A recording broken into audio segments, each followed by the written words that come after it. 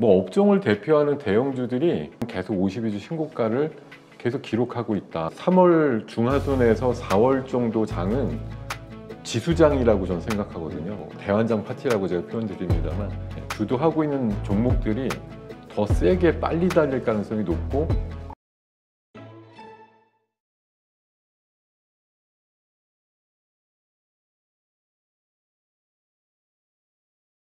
지금 이 상승 세 어, 얼마 전에 그 전인대가 있었습니다만은 홍콩 증시가 이제 다시 좀 안정을 찾는 건가 이런 생각도 좀 들고요. 네. 어, 해외 변수들 지금 좀 우리가 악재로 볼 만한 것들은 현재 없는 걸로 봐야 되겠죠.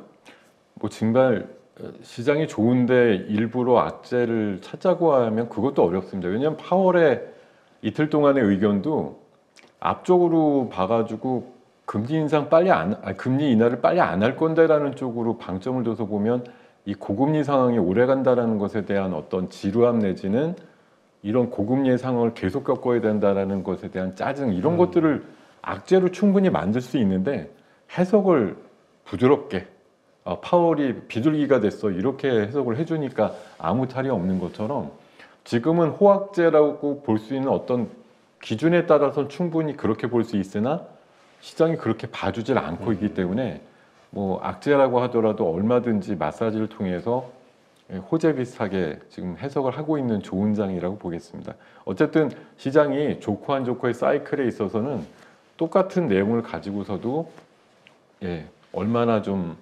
신빙성 내지는 확신을 가지고 볼 거냐 아니면 불확실하게 볼 거냐 이거에 따른 해석 문제로 보는데 지금은 엔비디아의 어떤 초급 등이라든가 이런 것조차도 어, 갈 길을 충분히 가고 있어. 사실 얼마 전에 조금 더 올랐으니까 그 PR 값이 올랐겠습니다만 얼마 전까지 한 3, 4일 전에 지표를 보면은 예, 엔비디아의 PR 값이 18배라고 그랬거든요. 네. 근데 그게 S&P에서 500 종목 중에서 제일 높대요. 음. 그러니까 지금 미국에 대해서 얼마 전에 그 어, 달리오라고 하는 그 헤지 펀드 대부가 얘기했듯이 버블은 버블인 것 같은데 세계 대공황 때나 그 2007년도의 금융위기 정도급의 버블 상태는 아직 아니야 이렇게 얘기를 했거든요. 그러니까 이게 참 뭐 풍선은 부풀고 있는 건 맞는데 터질 정도까지는 아직 안 불었어. 그럼 결국은 사람들은 언제 터질지 모르겠지만 내가 한 입 불고 그 다음 사람도 더 불고 내, 나, 내가 불고 안 터지면 돼 이제 이런 거거든요. 그래서 지금은 어쨌든 내가 비싸게 샀더라도 그 다음에 더 높은 가격으로 사줄 사람만 있다고 하면 오케이 들어가서 지지고 있겠지 지지고 있을게 이렇게 생각하는 지금 어떻게 보면 조금 뭐 리스크를 감안하지만 여전히 상황이 좋아 더 비싸게 사줄 사람들은 대기하고 있어. 좀 이런 장이라고 보기 때문에 악자가 분명히 스멀스멀 주변에 존재는 하지만 이게 사람들 직접 위협하는 수준까지는 아직 도달되지 않았다 이렇게 생각을 음. 하고 있고요. 뭐 해외 증시라든가 이런 쪽에서 이제 글로벌 이슈로 보면은 뭐 제가 보기엔 엔비디아가 올라가면서 사실 엔비디아 유아 독존이라고 해도 무방한 장이거든요. 그렇죠. 지금 시장이 사실 뭐 전체 글로벌 시장의 주류라고 하는 게 AI라는 이제 큰 어떤 카테고리 안에서 누가 대장 역할이냐? 엔비디아라는 아주 절대절명의 지금 미국 시가총액 3등권까지 올라온 엔비디아의 힘을 가지고 어, 거의 모든 증시가 지금 지탱하고 있다라고 봐도 무방하기 때문에 이 귀하게 올라오고 있는 얘를 누가 단숨에 뭐 마치 그뭐 황금알을 낳는 오리를 계속 알이 뭐 요만하게 나오게 기다릴 거냐 아니면 배를 째 가지고서 한꺼번에 황금을 얻겠어 이렇게 할 거냐인데 지금은 뭐 지도키도 참으면서 엔비디아가 계속 황금알을 낳기를 기다려주는 장이란 말이죠. 그래서 미국 소부장 기업들도 엔비디아의 어떤 강세에 따라서 신고가를 내는 종목들이 많은 흐름들도 다음 주에도 물론 과일이라는 얘기를 듣겠지만 그래도 얘네밖에 없어라고 하는 거고 수급이 몰려서 올라가는 걸 막을 수는 없을 거다 이런 생각이고 그리고 연준의 어떤 코멘트라든가 이런 부분도 지금 뭐 시장을 굳이 해치겠다 이런 생각은 안 하는 듯해요. 그래서 구체적인 뭐 일정이 나와 있지는 않지만 금리는 곧 내릴 수 있어 이런 환경이 계속되고 있어라는 신호만 보여주면 뭐 미국은 계속 그냥 어 금리 어차피 올해 안으로만 내리면 되지라는 생각을 할 거고 저랑 비슷한 사람들이 있다고 하면 금리 빨리 내리는 게 좋은 거 아니야 음. 이렇게 가는 게 골디락스야 뭐 경제 지표들 무난하게 나오고 다만 이제 다음 주 정도에 또 CPI 나왔을 때 한번 경기 일으킬 수는 있습니다 요새 네. 유가도 조금 올라가고 하기 때문에 CPI가 또 예상보다 뭐 0.1 높게 나오면은 야 이거 금리 훨씬 더 늦어지는 거 아니야 이제 이런 생각들 하, 하루 정도 뭐 예, 약간 걸림돌이 될 수 있지만 크게 대세를 좌우할 수준은 아닐 거라는 생각이 듭니다. 네, 그렇군요. 자, 지금 근데 엔비디아 만 오르는 장이라고 말씀하셨는데 혹은 그와 관련된 네, 종목들만 한국도 보면은 지금 지수는 이렇게 그 뭐라 그럴까 이렇게 오른다 해도 네. 오른 종목보다 내린 종목이 더 많다. 참 어려운 장이다 이렇게 생각하시는 분들도 많더라고요. 맞습니다. 지금 신고가 52주 신고가 내는 종목들의 수가 그렇게 많지는 않죠. 어, 하루에 보면 뭐 수십 개 정도 나오긴 나오는데 아, 그래요? 네. 오늘도 보면 아까도 잠깐 말씀드렸지만 뭐 SK 하이닉스라든가 기아를 비롯해서 삼성카드, 삼성생명 또 전력 인프라 쪽의 제룡전기라든가 은행 쪽에 뭐 신한지주 또 요즘 방산주 뜨겁죠. 그래서 음, 우주항공 쪽에 LIG 넥스원 뭐 업종을 대표하는 대형주들이 한 최소 뭐 2, 30개 정도는 계속 52주 신고가를 계속 기록하고 있다라고 음. 보시면 될 것 같고요. 그러니까 이게 그겁니다. 올라가는 쪽 제가 지금 불러드리는 종목 보면 거의 극소형주나 초소형주가 없어요. 네. 그러니까 지금 이번 주 말씀하신 대로 5일 동안 내내 나왔던 특징이 뭐냐면 오르는 종목보다 내리는 게 많습니다. 네. 지수가 올라가던 뭐 오늘도 심지어 다 합쳐보면 내린 종목이 거의 많다 이럴 정도의 비등비등한 시장이었고 엊그저께 지난 월요일도 지수는 올랐는데 내리는 종목이 배 이상 많은 시장이었거든요. 네. 이건 뭐냐면 아까 제가 시장이 좀 변하고 있다라는 것에서 말씀드렸듯이 시가총액 상위군을 나타냈거나 아니면 자본금 큰 어, 대형주군들이 그냥 올라가는 게 아니라 중소형주들보다 더 똘똘하게 올라간다는 거죠. 음, 그러니까 한 천 개쯤이 빠져도 3, 400개가 똘똘하게 올라가니까 지수가 플러스가 나고 이번 주 같은 경우도 주간으로 보면 코스피랑 코스닥이 다 한 1%씩 전진을 했어요. 미흡하지만 네. 어쨌든 전진을 했습니다. 그게 어, 그러니까 개별주 중소형주 장세 이렇게 예상하고 그런 쪽에 좀 포지션이 컸던 분들은 이번 주 재미 없었는데 이러실 분들이 많은데 어떤 그 뭐 비중이라든가 중대형주 또 중소형주 이런 데서 약간 비교 우위를 가졌던 분들은 나름대로 또 재미있는 일주일이다 이런 생각을 하셨을 것 같습니다. 그러니까 제가 지금 드리고 싶은 말씀은 앞으로 뭐 어, 많은 분들 뭐 포함해서 저도 그렇게 예상하는데 앞으로 3월 중하순에서 4월 정도 장은 지수장이라고 저는 생각하거든요. 물론 어느 장도 기본은 종목장인데 그 종목에서 어떤 것들이 더 우위를 가지느냐를 하면 우리도 포모 현상 나와서 왜 미국만큼 가면 안 돼? 일본만큼 가면 안 돼? 이런 현상이 나왔을 때 솔직히 중소형주 천 개가 막 챗바퀴 돌려가지고서 올라가는 흐름이 나오지는 않을 것 같고요. 뭐 저 PBR 밸류어 프로그램에 해당되는 금융주, 뭐 지주회사 이런 거 포함해서 지금 반도체가 가도 하이닉스가 웬만한 개별주보다 세단 말이죠. 네.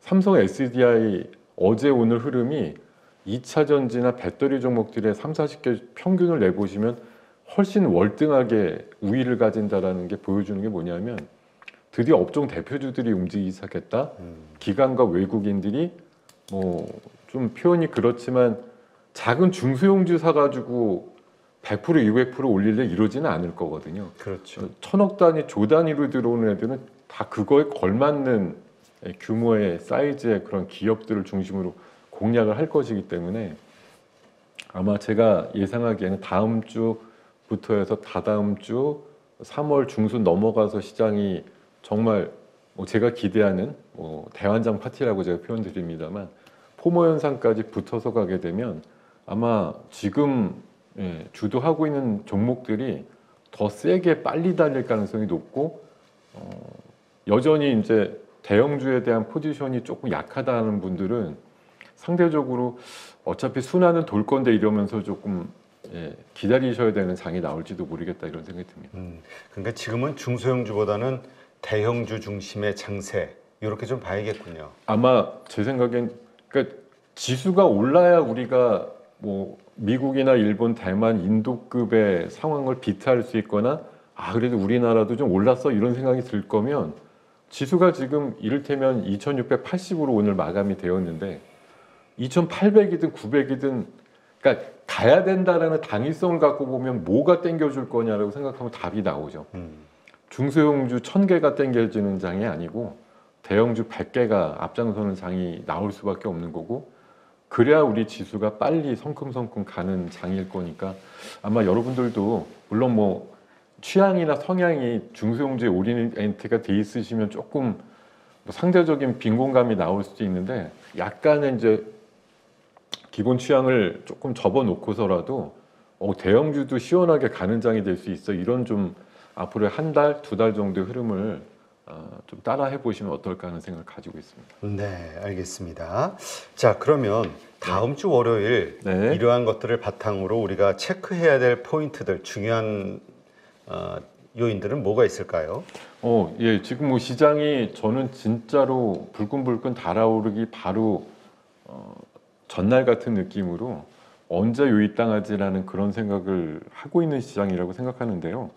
물론 바로 당장 다음 주 이슈는 아닙니다만 이번 주도 충분히 달아오르는 저변에 보면 아까 자꾸 이제 엔비디아 말씀을 드릴 수밖에 없는데 엔비디아도 언젠가 끝이 날 텐데 이 끝에 어떤 절정의 그 타이밍이 언제냐 그 GPU 관련된 컨퍼런스가 음, 어, 이번 달 18일에서 21일 정도 있습니다. 그러니까 이게 그 주간에는 오히려 정점을 찍을 확률이 높은데 다음 주가 그 바로 전주거든요.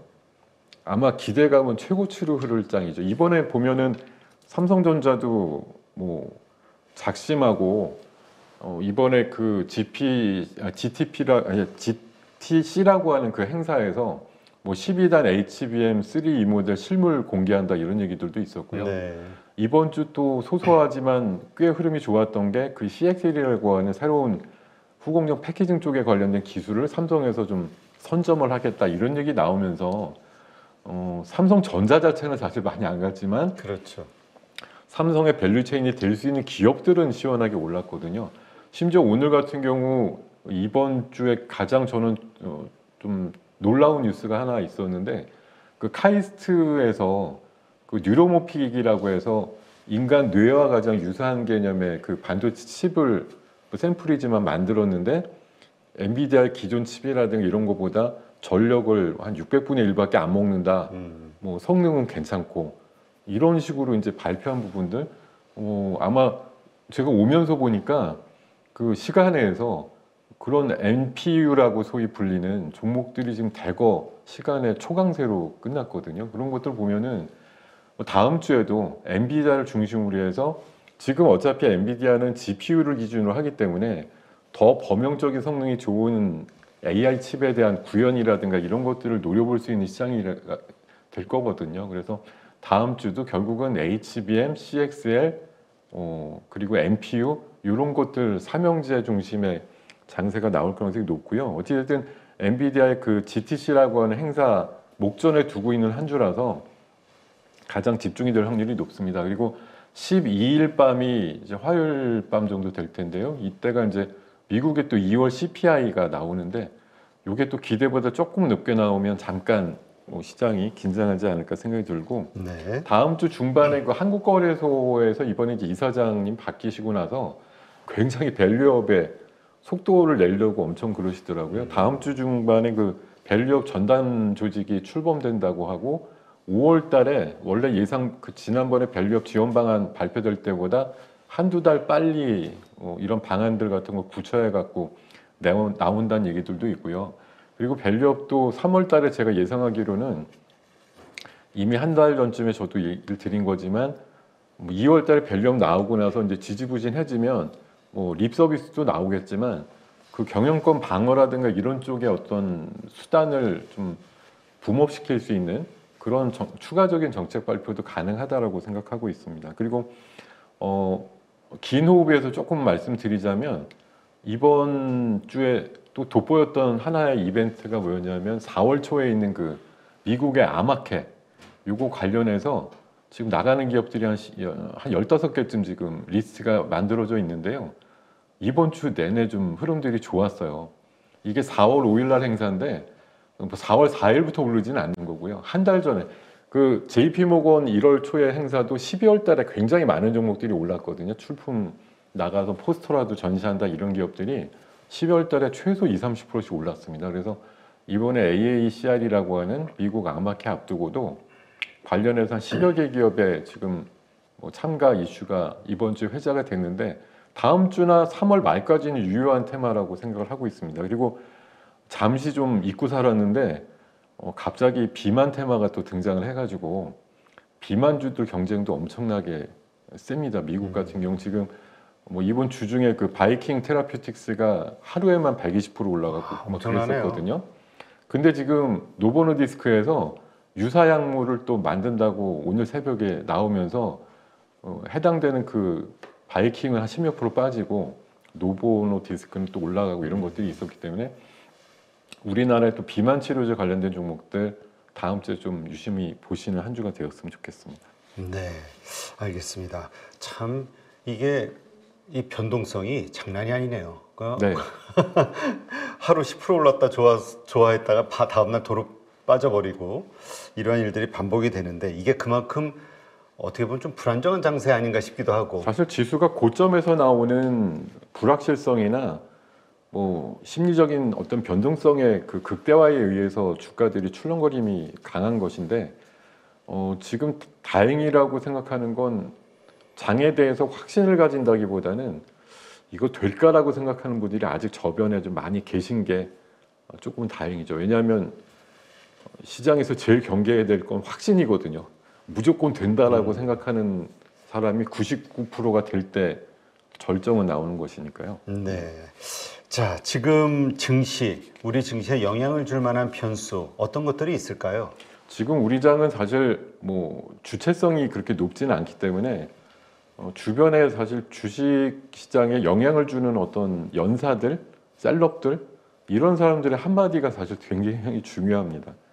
어, 파월이나 앨런 머스크의 한마디, 어, 샘 올트만의 샘 올트만이 다음 주에 또 일정이 하나 있더라고. 요 우리나라 스타트업을 비롯해서 14개 회사를 초대를 해가지고 얼마 전에 오기도 했었습니다만 음, 자기네 그 반도체 어떤 진영이나 펀딩하는데 어떤 포럼 같은 걸 좀 한다는 얘기들도 있고요. 이번 주에 사실 또 전력 관련된 종목들이 센 것도 앨런 머스크가 내년도에 전기랑 변압기 쇼티지 날 것 같아 이런 얘기 하면서 변압기 관련 주들 이번 주 내내 굉장히 좋았거든요. 그래서 네.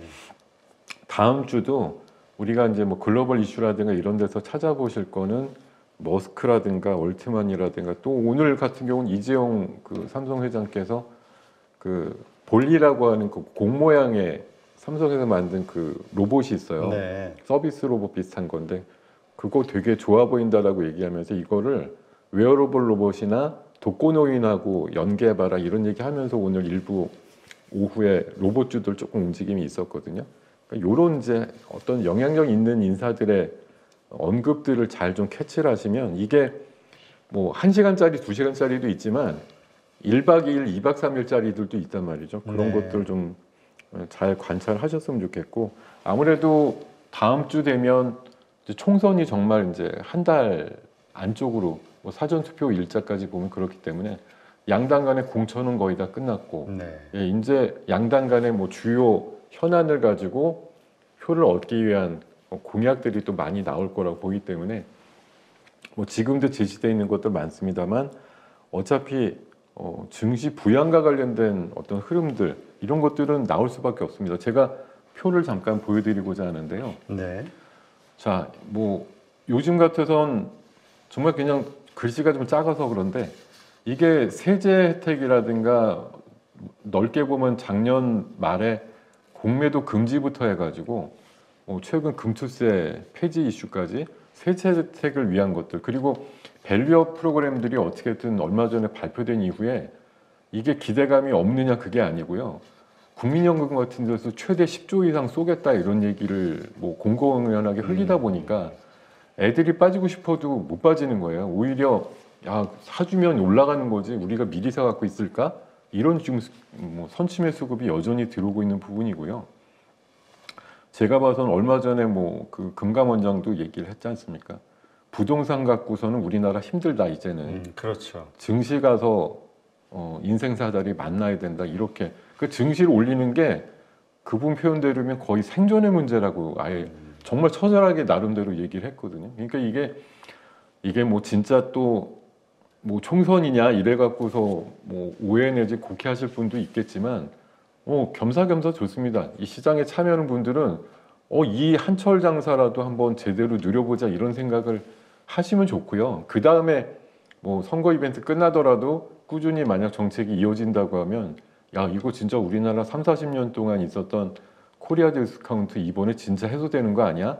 PBR 0.2, 0.3짜리들 1까지 다 가는 거 아니야? 이런 생각을 왜 하시면 안 될까요? 우리나라 장도 지금 단계가 예, 부족합니다. 여전히 여러분들의 어떤 예, 뭐 수익을 위해서는 충분히 더 올라가야 되는 장세인데 지금 장이 이제 안타까운 건 양극화가 돼 있다는 거예요. 뜻모르게 많이 올라가 있는 녀석들도 있고 아직도 굉장히 어, 갖고 있는 가치 대비해서 굉장히 모자란 평가를 받고 있는. 그러니까 지금 올라가는 건 성장성의 어떤 그 뭐 명찰을 달고 올라가는 것이고요. 네. 어, 지금 아직 처져 있고 뭐 시가총액이 가지고 있는 밸류보다도 못해요 이런 녀석들은 이번에 밸류업을 통해서 붐업들이 되면서 뭐 PBR 1배 수준까지 만족스럽게 올라가는 장이 된다고 하면 시장은 아마 저변 자체가 지금 우리가 2,600을 높게 보고 있는 분들도 계시겠지만 그냥 3,000이 기본인데 이렇게 되는 장도 충분히 발현될 수 있거든요. 음, 예, 그런 시장이 앞으로 짧게는 두 달 내에, 길게는 뭐 몇년 내에. 그러니까 유효 기한이 최소 두 달, 길게는 2, 3년 이렇게 보고 계시면 될 것 같습니다. 네. 하긴 이제 정말 부동산 가지고 다시 큰 어떤 돈을 벌기는 어려운 시대가 돼서 네. 주식으로 자산을 증식하는 시대가 네. 될 수밖에 없고 그러한 사람들이 증가할 수 있도록 하는 게 또 결국 정치인들의 또 인기하고도 연결이 될 테니까 표하고도 네. 네, 그런 건 한번 좀 기대해 볼 만하겠네요. 자, 그러면 이런 상태에서 지금 우리가 주목해야 될 종목들 어떤 게 있을까요? 예, 종목은 제가 한번 그냥 표로 어, 한번 정리를 해봤는데요. 네. 자, 지금 제가 자 우스갯소리는 아니고 어, 전부 요새 날아가는 주도 업종들이나 섹터를 다 지금 정리를 하다 보니까 저기 지금 밸류업, 반도체, 바이오, 뭐 배터리, 방산 이렇게 해놨는데 특징이 보이시나요? 글쎄요. 아니 다 비읍으로 시작합니다. 섹터의 제목. 아, 그래요? 그래서 제가 요즘 오비 장세라고 해요. 오비 장세. 아, 저 혼자 붙인 말인데 어떻게 공교롭게 다 비읍으로 시작하지? 음, 그러네요. 예, 밸류업, 반도체, 바이오, 배터리, 방산 이렇게 5대 섹터 중심으로 이번 장이 좀 활황을 보일 거라고 생각을 하기 때문에 뭐 value-up에서는 역시 마찬가지로 자동차라든가 뭐 지주회사, 금융주에 대한 관심들 그리고 중소형주까지는 아직 바람이 좀 불지는 않았는데 결국 순환을 할 것이다라는 관점에서 중소형주도 몇 개 말씀드리고 반도체는 세 가지입니다. HBM, CXL, MPU 이렇게 좀 구분해서 보시면 좋을 것 같고요. 어, 계속 말씀드리지만 엠, 엔비디아의 그 18일 정도의 그 GTC 행사까지가 절정을 보일 가능성이 높다 이렇게 어, 보시면 다음 주도 뭐 막바지지만 막판에 또 주가는 굉장히 급등 내지는 급변동성을 할 수 있는 기회를 한번 잡아보시면 좋을 것 같고요.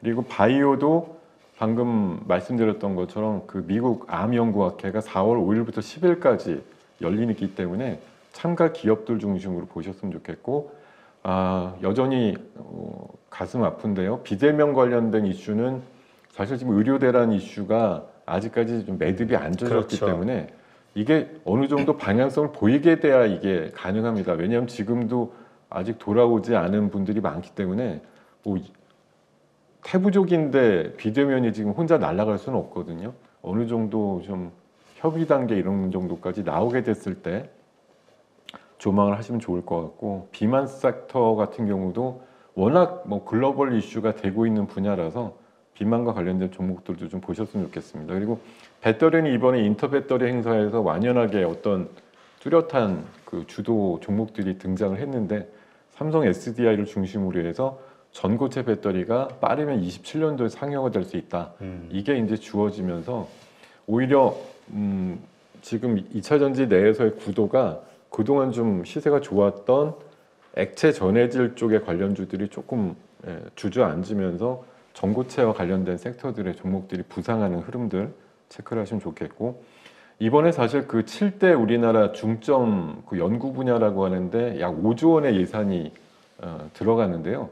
생각보다 우주항공 쪽에 예산이 많이 편성이 돼 있습니다. 그래서 우주항공에 대한 기대값도 높아지고 있고요. 그리고 이번에 트럼프가 또 한마디 했죠. 나토에 대해서 그 뭐 나토 회비 잘 안 내면은 러시아보로 쳐들어가게 뭐 봐준 뭐 그냥 얘기해 준다 뭐 이런 식으로 하니까 유럽이 자체적인 방산을 하겠다고 지금 엄청 또 난리를 치고 있는데 유럽이 자체 방산할 수 있는 건 뭐 독일밖에 바라볼 수가 없는데요. 그렇죠. 독일 전차 우리나라보다 두 배 정도 비싸다고 알고 있거든요. 그러니까 당장은 우리나라 뭐 흑표 전차를 비롯해서 K9 자주포 이런 것들에 대한 인기가 여전할 것으로 보이기 때문에 최근에 3대장입니다. 한화 에어로스페이스, LIG 넥스원, 한화 시스템으로 만들어져 있는 요 3대장 중심의 방산과 우주항공주들 같이 보시는 한 주가 되었으면 좋겠습니다. 네, 알겠습니다. 잘 참고하셔서 네, 우리 가족분들 수익 나는 네, 그런 어, 또 주간 또 3월이 되시기를 응원하겠습니다. 오늘 이렇게 함께 해주신 김동엽 대표님 고맙습니다. 네, 고맙습니다.